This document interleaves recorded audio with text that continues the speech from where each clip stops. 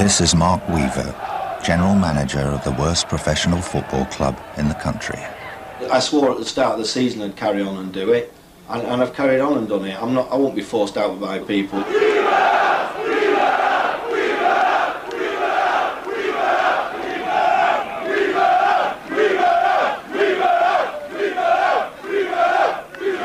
is what it's like every match nearly now. We're being having pitch invasions in middle of match, pitch invasions before and after match. Just remember what, what Churchill said. Never give up. Never give up.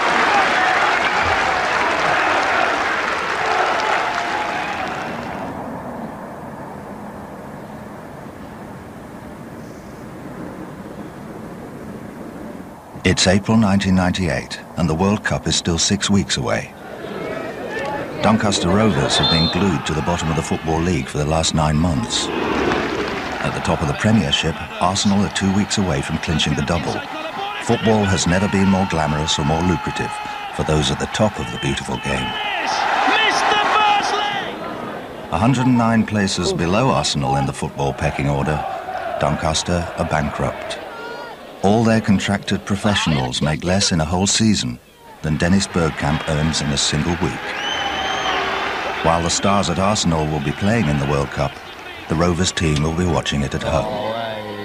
If they're not job hunting.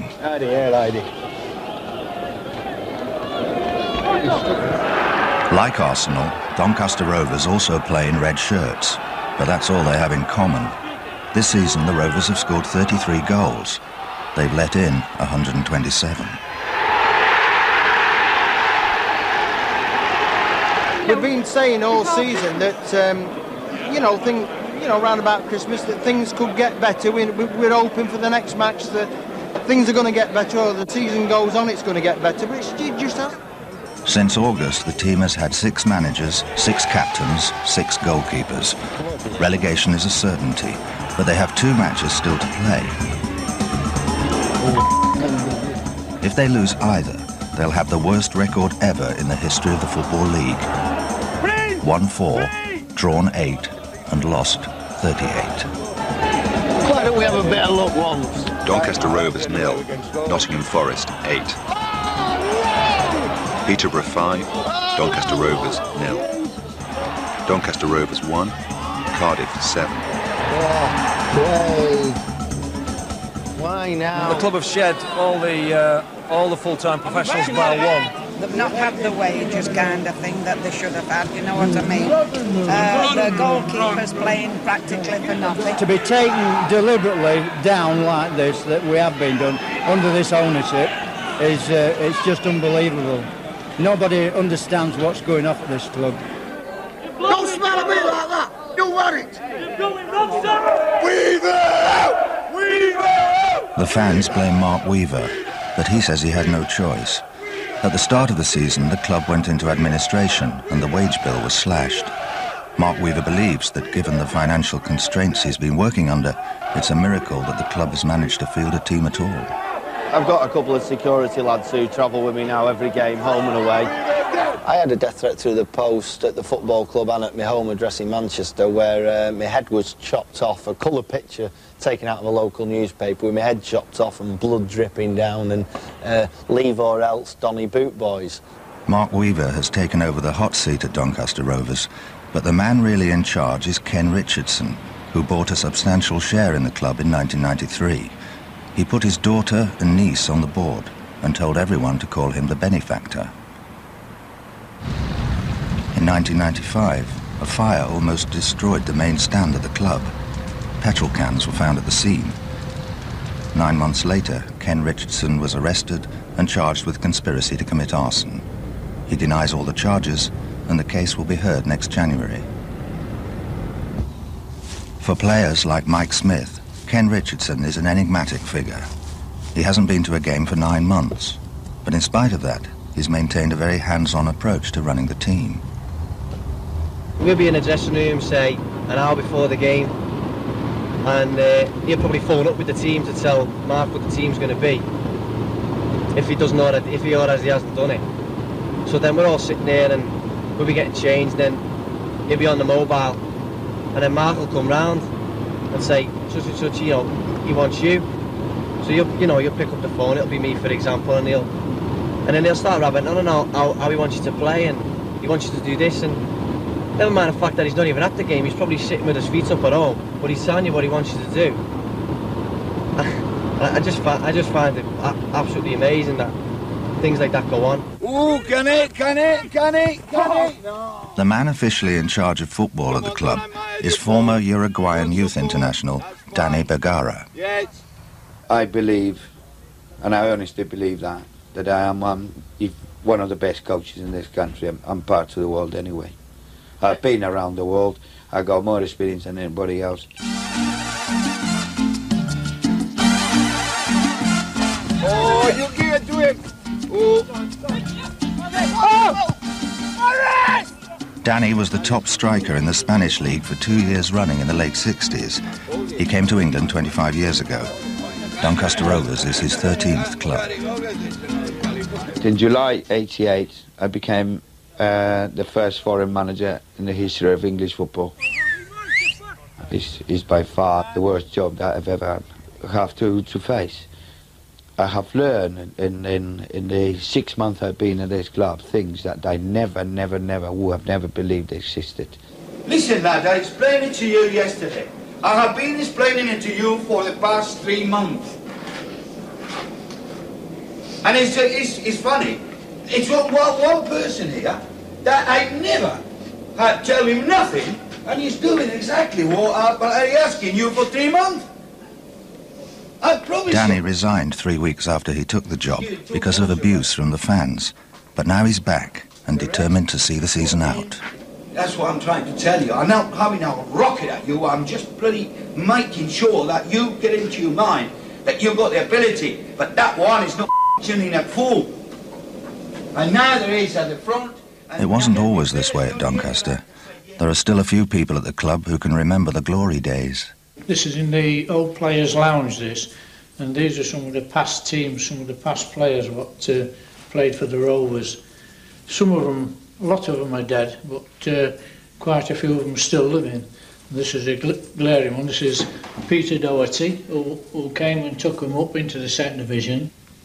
This is the great Charlie Williams, who was down the other day. He, went on to become a famous star and comedian on TV. He was in Golden Shot, the Golden Shot.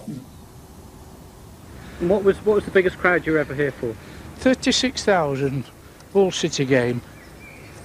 And uh, what was it like? What was the atmosphere like? Oh, it was, it was tremendous. You couldn't hear yourself. As as I say, I'd be around about I'd be about nine or ten, and it was fantastic. We thought it was out of this world. Couldn't believe it football stopped becoming a sport many years ago now. We've got gates of 700, 500, 900, 1200 here regularly this season. And gate receipts of that means you can't survive in a football league. It's all in the Premier League, all the Premier and Premier, they've got all the money. And all these little clubs, we haven't got nothing. And yet they've got to get the talent from these. As soon as we get a youth or somebody looking good, they come and snap him up, by it with no chance, and that's it. It's not, it's not sport anymore, it's just money. Teams like Doncaster have always survived by nurturing young talent and selling it on. Offside! Famous for rejecting the services of a young Kevin Keegan, now the youth team are the lifeblood of Doncaster Rovers. We're good. We are good. Best? Yeah, probably. Many people have said that. Many people say we're the best team. We've beat, we've beat the big teams. Yeah. But most of them now play for the first team because all the professionals have been sold. Danny's reluctant to play them in the youth team any longer. The thing is that if, if we play them and they get injured, then we've got a problem with the first team. Danny needs 13 fit players for the Rovers' final away game against Swansea in two days' time.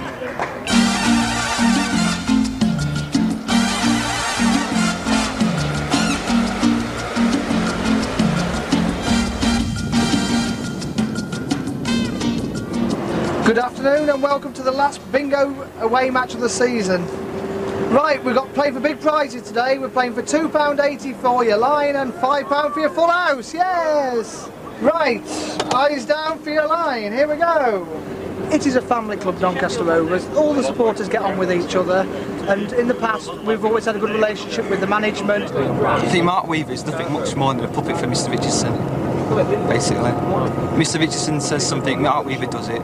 Mark Weaver does it to a good standard, he does whatever Mr. Richardson wants. We are very bitter towards both Richardson and Weaver to think that these two men can do this to the club. Personally, I think uh, the only thing that would help the club would be to bring in uh, bring in new owners uh, with a new manager, an experienced manager who could bring in players who could get us out of the situation we're in. Casper Rovers tattoo shows how much I love the club. I had it about six weeks ago, so I knew we were going to go down anyway, but I still had it done now. Uh, well, I wasn't done the same as him, but he had to have his coloured in just to be better than that. On the team coach, Danny waxes philosophical in the face of disaster. Well, two very important things at stake, and that is your pride and your own careers. Uh, not just the ones of the players, but uh, uh, myself, and uh, I can't say staff because I don't go any, I'm afraid. And um, when you compare top of the Premier with a team going down to the conference, two things are in common, and in a game you played, and uh, your pride and your career is always at stake. As Danny said, you know, we're not dead. You know, we're, we're still alive. But in football terms, you know, um, we are dead, really.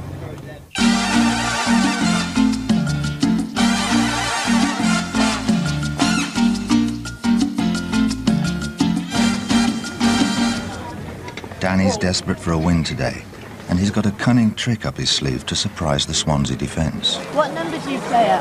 Four. Always, all through the Yeah, well, most of the season. Until they mess about with the numbers and try and confuse other people. What? What? How- Try and confuse the opposition by putting people in different different numbers so, so they're playing different positions. They think, oh, stupid. We've got Craig Davis in goal, we've got Prince Moncrieffe number two, we've got Morris Hill. In the press box, bingo caller and lifelong fan Paul Mayfield commentates on the match for Viking local radio. Harvey Cunningham seven, Mark Donnelly eight. We've got 16-year-old Robert Betts in for Matthew Russell who's gone back to Scarborough. And this lad has had to get permission of his headmaster to play. Uh, we've got Adie Mike at number 10, we've got Padding Fresh from his uh, jail stint at number 11. Super. I think, thanks a lot, Connie, mate. That's what I say. And just as we were walking in, when we got uh, came through the press doors, we got Uri Geller in there, so I got his autograph and his Bentley pen. Yeah, so Uri Geller was coming in. I, I think he's come to bend the three kicks for Doncaster today.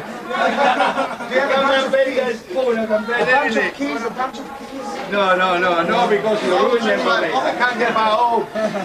Okay, now good luck to you, huh? Bye-bye. Thank you, thank you, thank you, thank you. Just say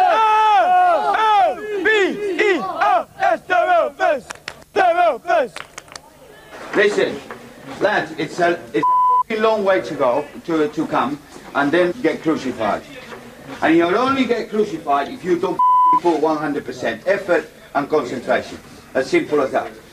Flying in the sky, we'll keep the red flag flying high. When the Rovers win the league, we'll keep the red flag flying high. We are playing for pride, we are playing for our own careers, we are playing for our families here. Now, you show me how much you want your careers, how much you, you want your families, and how much you want to keep in this game earning your bloody wages. Okay? So, come up, go pass. Oh. It's the football club's last ever Football League away game. You can take it the two ways. You can go out and toss it off and we get dumped and that's it. Or we can go out there with a bit of pride and win the game. The other thing is we've got that unenviable record of being, if we lose today, the worst ever team in the league. It's the biggest ever amount of defeats and we don't want to be able with that because you don't deserve that.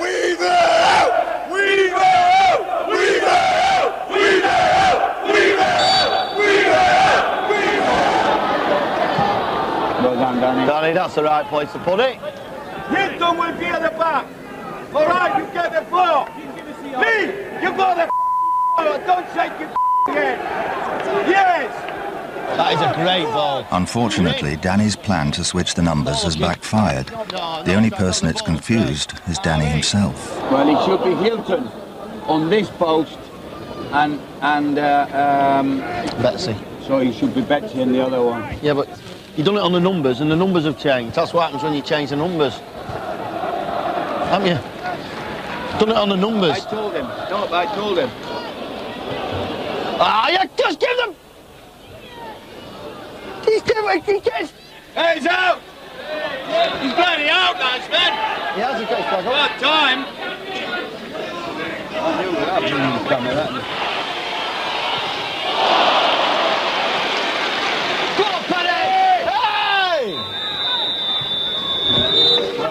Half time, no score. We're actually drawing nil-nil. So that's a minor miracle for Doncaster Rovers, isn't it, really? It probably is, yes. Uh, I mean, Doncaster have been really sort of backs to the wall in this first half, but uh, some resolute defending by the, the youngsters. I mean, every shot what was going in, they were there jumping in, blocking the shot. Um, I mean, the amount of saves that uh, Craig Davis has had to make has been quite a few, although not really troubled. Um, we've held out really well. We can win this game. Mark, you want No, no, you don't. Listen, you, you at least don't lose it. At least. Let's please.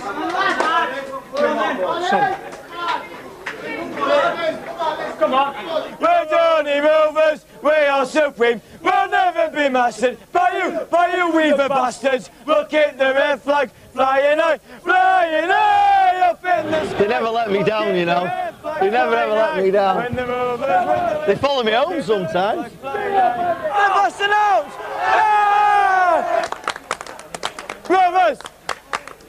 Rovers! Oh, Betsy, shoot! No! Buddy! Go, buddy! Go, buddy! That's it. That's it, Danny. Swansea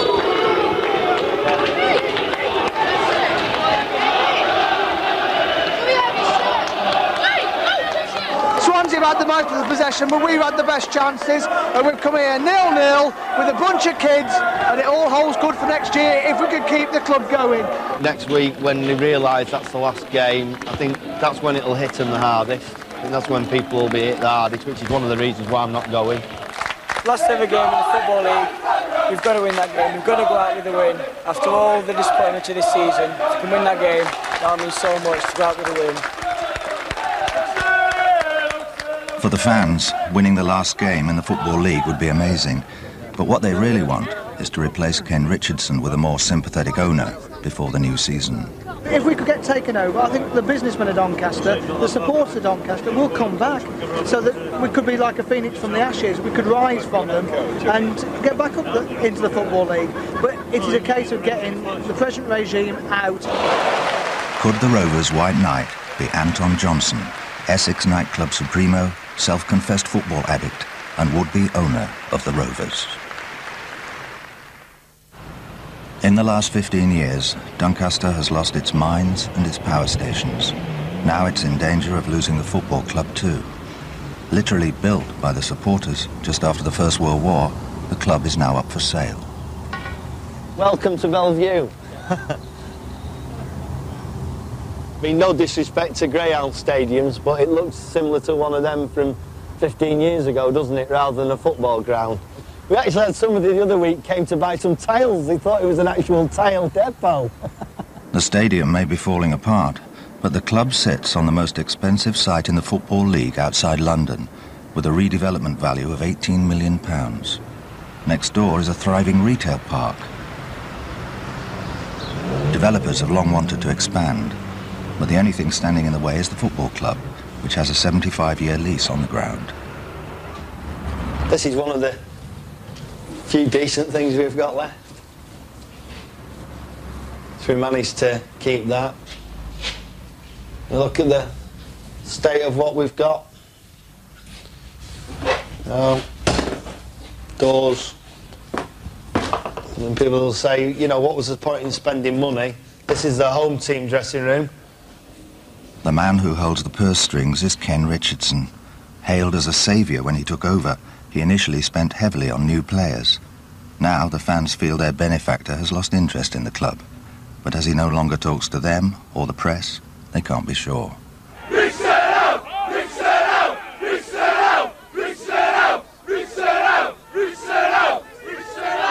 I can stand up for him because I know what he did for the football club. I know how much time he put in. I know how much it meant to him. I know how much money he's put in. I know what he's been through to try and get the results. Maybe when he came in, you could say there was some good done. We got a lot of new players, some good, some bad.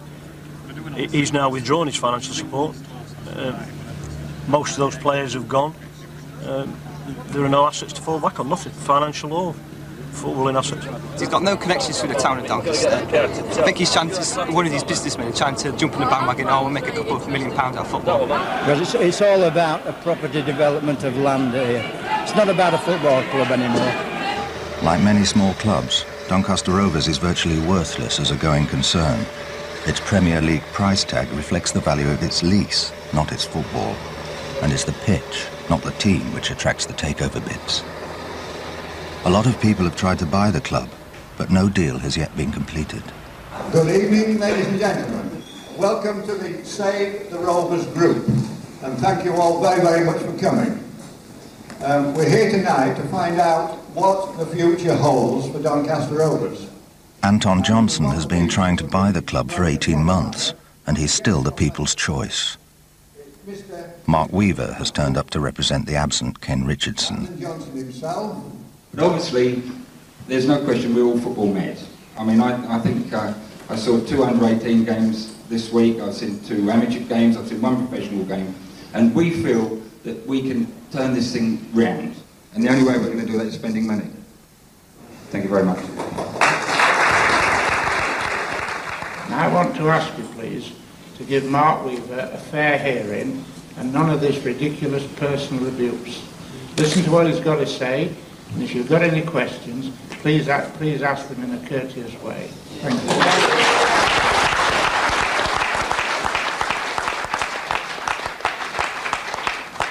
Thank you for giving me the opportunity to answer some of them questions.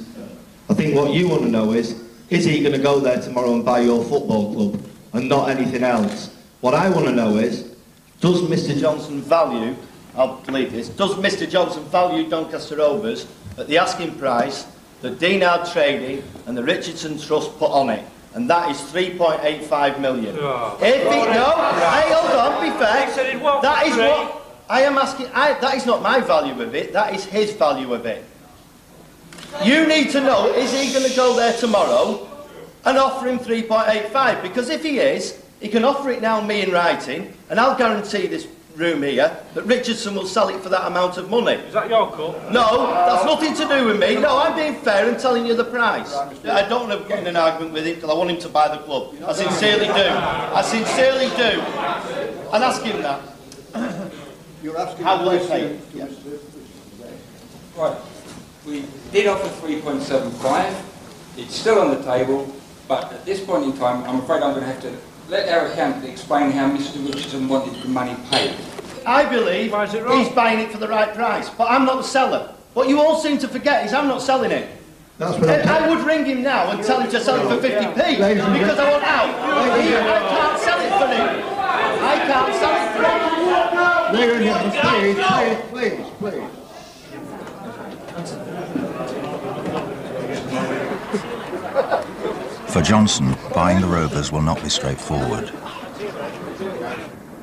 The elusive Ken Richardson may own the club, but he leases the ground from Doncaster Council, who were very upset when he advertised it for sale shortly after he bought it in 1993.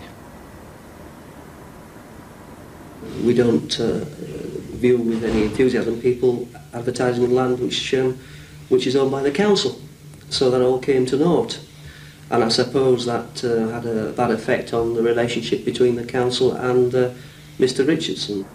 The current council situation is that we're, we do not, uh, we're not interested in, in having a, uh, direct negotiations with Mr Richardson. We're leaving that to uh, third parties who we can then uh, begin to, to develop uh, some more confidence in. What we really were concerned about our size, whether we're going to be Uh, plenty of leg room in them, is there? Well, no, There's deadlock in Doncaster, but today Anton Johnson's 150 miles away in Essex, and his mind's on another purchase. This is, this is the sort I like.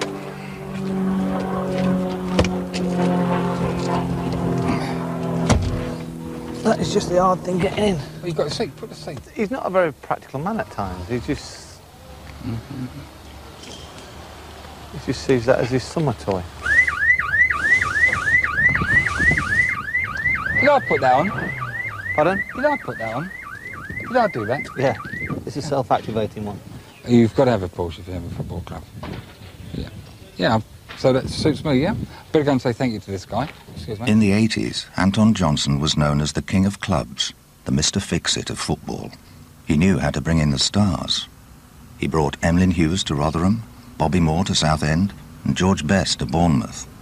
But in 1984, the Football League decided he had broken their rules by having dual control of Southend and Rotherham. They've pledged to take a close look at any club he tries to buy in the future. Back in Doncaster, everything's going wrong. Ken's got problems with the mower. As I say, it's, it's getting on a bit now, this machine, whether we can or not, I don't know. Well, it's one the, uh, it's one the, lo- the uh, supporters club bought us about two, set down about two or three years ago. It's an Alec mowing machine front with a Robin Reliant engine. The lock has broken on the player's entrance, and half the youth team are locked inside. Nicky wants a screwdriver. Is the groundsman in there? And all of Danny's remaining staff have left or resigned. I've got to do the training um, for the first team, the training for the reserves, which is similar to same as first team, the kids, the youth, the under 18s. Uh, I do the School of Excellence every Thursday night. I have to drive the kids when I'm available, take them to, you know, whatever whatever venue, Leeds, Scarborough. I drive the coach myself. Um, it is is another great experience. The youth team have to train by themselves in the stands to save wear and tear on the pitch. While the first team train with Danny in the local park, without lines or goalposts. Danny wants to work on pattern, but he doesn't have a full squad. Since the club stopped paying expenses, training is voluntary, and there aren't many volunteers today. Uh, you go back to the ground and uh, you can do your weight a couple of seconds or leave it alone. Simple as that. Though the Rovers are dying, football in Doncaster is as popular as ever. More children play organised soccer here than anywhere else in the country. But their heroes are not from Belle Vue. Dixon for Arsenal, right to his left-hand side. It's Man United, Newcastle, Liverpool who are the big teams now in South Yorkshire. For these children, football means the Premier League and satellite television, not a rainy afternoon at Belle Vue. A whole generation of fans have been lost to Doncaster Rovers. The youth team are playing their final home fixture at the club. By half-time, they're 1-0 down, and Danny is trying to inspire them with a beautiful game. You probably saw Arsenal the other day, and within 13 minutes you'd already pulverised Blackburn by moving the ball quickly to the front, got into the opponent's half, and he blooming ran the ring down there. There were crosses in, they were dribbling in, they were blooming strikes at goal. Fantastic. If you don't want to play for Arsenal, what the hell are you doing here then? If we can just repair that, the simple things, where do you do them? Get the ball at the back, hit the front. I don't mean move, I don't mean wall up, I mean hit the front.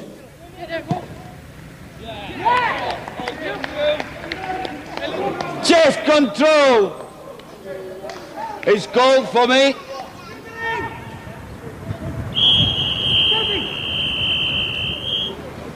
The youth team finished their season on a defeat. They'll soon find out that all their remaining fixtures are cancelled due to lack of funds, and there will be no youth programme next season. With days to go to the end of the season, the club's in desperate straits. Only a large gate at the last game will save them. For the few remaining players, the future is very uncertain. I don't know what's going to happen now. Um, I spoke to Mark Weaver and he, he's sort of said that, you know, there's still interest in people that looking to buy the club, but as far as it goes, you know, the, the present regime, they're, they're still in charge and until anything happens, I can't really say anything. Sadly for Doncaster, nothing does look like happening. And would-be saviour Anton Johnson has been shopping in Scotland for other football clubs. Obviously, our priority was Doncaster, but we've certainly got our. Uh, we actually put the offer into Falkirk, which initially uh, was the one and only, and felt it was going to be accepted. Still in abeyance at the moment. Uh, again, we're in, interested in uh, Partick Thistle. We did contact Motherwell. We found felt that they were up for grabs and missed it by a week. I spoke to the chairman and Mr. Chapman. Um, and so, uh, but at the end of the day, if we had the opportunity, it would be Doncaster. Back in Yorkshire, with hours to go before the last game in the Football League, Save the Rovers are planning their final stand. It's opened up to everybody now. What do we do?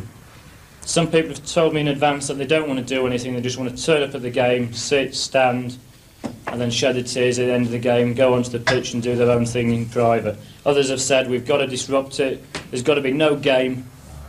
If the game's cancelled, then we can say that Rovers were never kicked out of the league because the last game was never played. If we can do any good by dying ourselves to, on Saturday, the good we're going to do is by warning other clubs. Well, we're dead, aren't we? So we've got to go out in such a way that we bring it home to everybody in the Football League what can happen yeah. with bad ownership. And it's our only, it's our last chance. Nobody's going to take any notice of when we're in the conference. Why is the Sun interested in covering us when we've got two tits in charge? There's a lot riding on the last game. Every league club gets a share of TV and pools revenue, but the Football League have withheld the Rovers' money and will only pay the £200,000 owed if they complete their fixtures.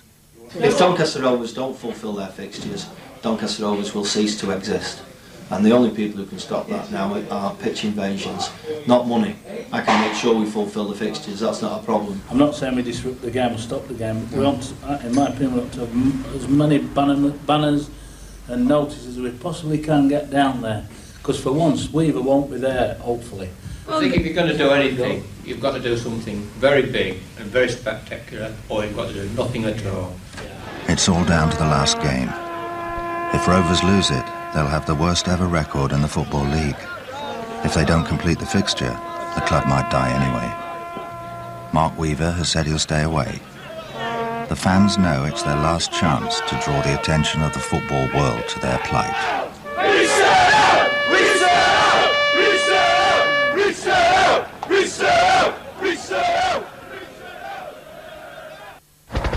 It's the morning of Doncaster's last match in the Football League, and the South Yorkshire Police are preparing for trouble. They're expecting a record gate. Nearly 5,000 tickets have been sold. I'll have that pinned on, on my front. I've had them all over me all season, various ones on the front, on the back, various posters, but the, la the last few months it's, we've been aiming at Weaver because Weaver's been the one there, but on Wednesday night we decided it's got to be back to Richardson again. My father, I mean, he was the one who took me to Belle Vue first. And uh, when we had a minute's silence after the uh, Hillsborough tragedy, I mean, it, it, it, was my father that was in my mind. He's there with me when I'm at Belle Vue, um, and he'll be there today. And I'm sure there'll be hundreds of people there today who will be thinking about former players, but they'll be thinking about the friends that they knew there and the relatives and their early memories. And it's part of our lives, and it's not fair that that has been taken away from us. Well, I mean, Just where, not fair. Where we're laying the Reeves is, is where I first stood and Tony first stood and we first took our children because it was the family stand, it was an old wooden stand. But that's where the children went and that's your, that's your early memories of Rovers, you know, sitting there and then later on standing there. Sad. Look for luck, we might even win today. There's no chance. Yeah. Reset! Reset out! Reset out! Reset out! Get down! Out! Reset out! Reset out! Reset out! Can't cope with it, to be honest. That's why I'm not saying anything, not chanting. The Colchester team have everything to play for today. They could be promoted to the second division, while the Rovers bow out of the league. We Weaver out! We Weaver out! We Weaver out! Weaver out! Before they get you. Yeah, that might be my last ever signature. Despite saying he'd stay away, Mark Weaver has turned up, with a larger group of minders than ever. As usual, Ken Richardson will not be there, but he's faxed the boys his game plan from his home in the Isle of Man. Mark, wind the lads up, keep them mean, no quarter to be given. Winners are the people who want to win the most. Show the bastards today and finish the season with a victory. I think that you'll find that the fans will be, be upset by the fact that I'm here. I think I think that will that will certainly be. Um, it's been a hard decision whether I came or I didn't come. Obviously, some aspects, some safety is always at risk when people are so upset at one person and, and there's so many of them. I accept I run that risk this afternoon of that. Do you think you'll still be here next year? No, Will you still be in football? I don't know. Won't be many offers, will there? It's quarter to three, and the terraces at Belle Vue are almost full for the first time this season. Back in the dressing room, the club's top scorer, Prince Moncrieffe, is feeling optimistic. You fancy a win today, yeah? 1 0. 1 0, you reckon? Yeah. Who's going to score? Adie Mike. It's not Adie Paddy. Do you want? It's not Paddy me. Cool. Alright? After the game, you come straight off the pitch. You don't go to the fans, you don't do anything. The police have told you you must come straight off the pitch down the tunnel. You come in here. If the police think it's safe for you to go back out and there'll be no problems, they'll take you out. Don't stay out there, right? Don't give your shirts away or anything at the end. Wait until the police have come back in, okay? The management have agreed that if and only if there is no pitch excursion before the full time, the players have agreed to come back onto the pitch at the end of the match and mix with supporters. They've just said that um, some wreaths will be um, going to uh, play the last post on the pitch at quarter to three um, and deliver some reeds to the town end stand. Um, if the police are happy with that and it stops any problems, then I'm happy for them to do as, as they wish. Uh,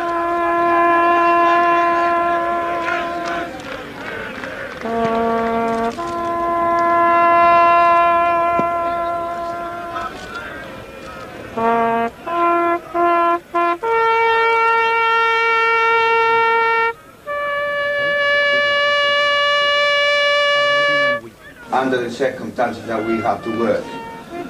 You you have done your best. Sometimes not good enough. Other times very good. But all round, what you want for today is to round the whole thing up and uh, and finish the season and go down with some kind of pride.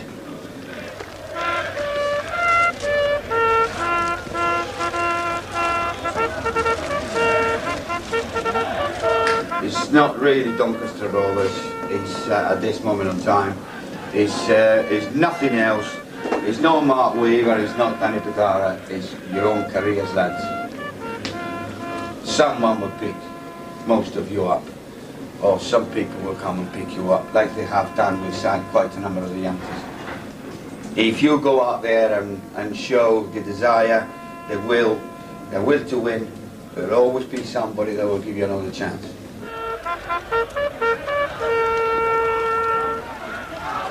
I don't need to say anything else except that uh, fancy coming from a bloody foreign Uruguayan to tell you what one of the greatest leaders that this country has ever produced, Winston Churchill. Never give up. Off you go. Good luck. Come to on, you. boys.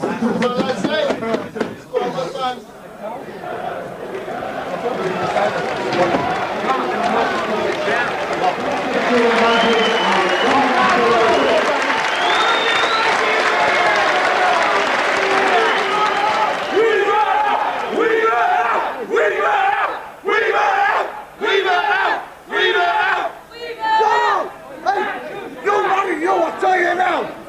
And it's a pity the police aren't telling him to get out the ground. Come with me!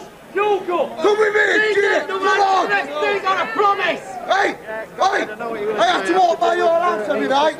I used to go up in box, but uh, stand down there. It's good. Good, isn't it? Oh, at the moment, no. you come to watch a football match, not to somebody shouting and bawling to a certain person. I mean, it's not, not my cup of tea. I mean, I come here to watch football.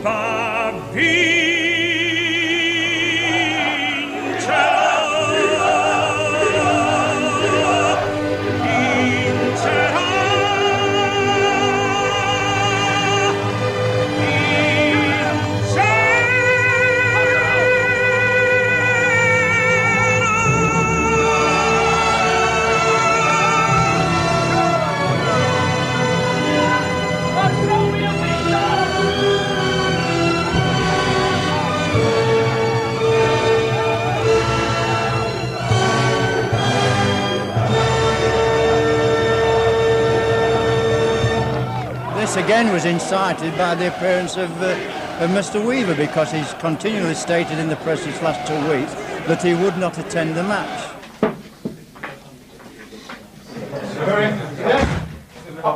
I'm just going to tell the Doncaster players what's going on. One minute. Hey, come on, lads. Don't do that to me again, Mr. Do not do that to me again. Every match from season, we've had this. We've been having pitch invasions in middle of match, pitch invasions before and after match.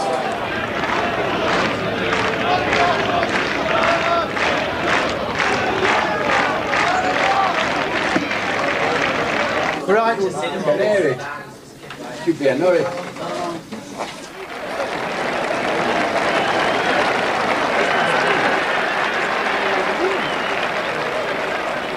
I wasn't protesting, I was doing my own little piece. I weren't causing any trouble, and I got a policeman sticking his fingers straight behind my ears. And what can you do but stand up when somebody's forcing their fingers into the back of your ears?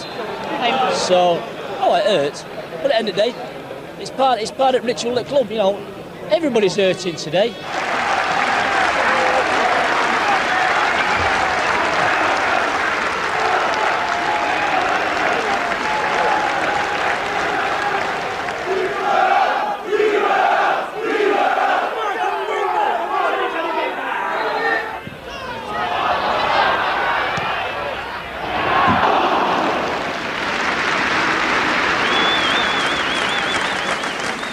At half-time, it's nil-nil.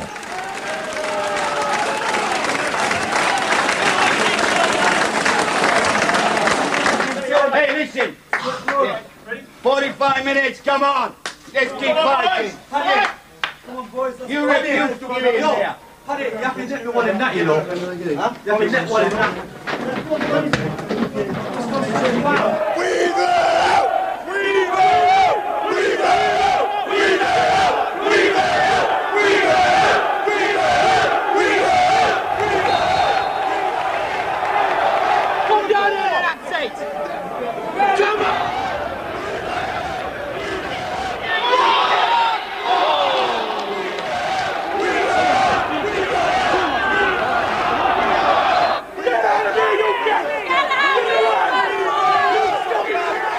20 minutes into the second half, the police advise Mark Weaver to leave the ground for his own safety.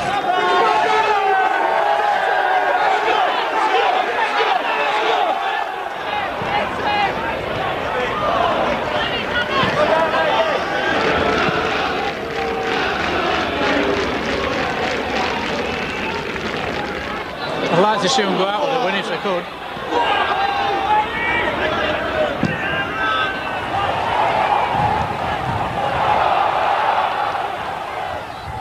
Five minutes before the end, Doncaster's gallant defence is finally breached.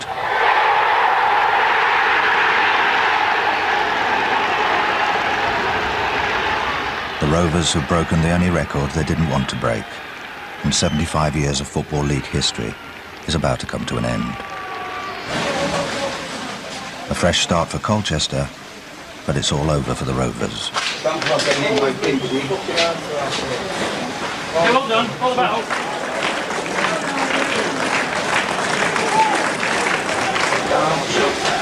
Lads, lads, your decision.